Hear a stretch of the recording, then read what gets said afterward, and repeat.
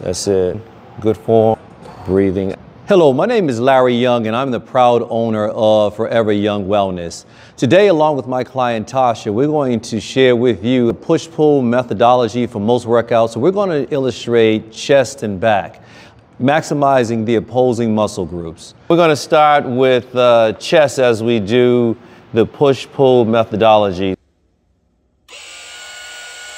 She will exhale each time she pulls up to ensure that she has uh, proper form and breathing. So as we incorporate the Ninja Gravity G9.6 into the overall routine, chest and back, I like to combine the two, take care of a push-pull methodology.